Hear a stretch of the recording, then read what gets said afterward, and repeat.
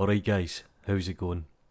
So yesterday during a Twitch presentation, I was kinda answering questions in the comments and one of the users wanted to know how do you fit all slash fit selected. Now they come from a different application so I thought I might as well make a quick video.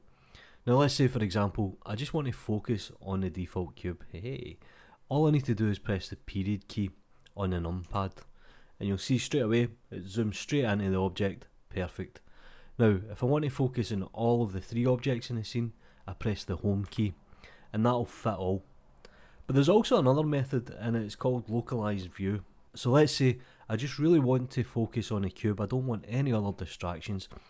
If I press backslash on the numpad, you'll see here that it actually goes into local view and it hides the rest of the objects. Now to bring this back, just press backslash. And it's a pretty nice effect for quickly hiding other objects. So if you ever find that your objects are actually hidden, there's a good chance you're in local view. Do me a favour guys, like the video, subscribe to the channel if you haven't already, follow me on Twitter, support me on Gumroad, you know what to do.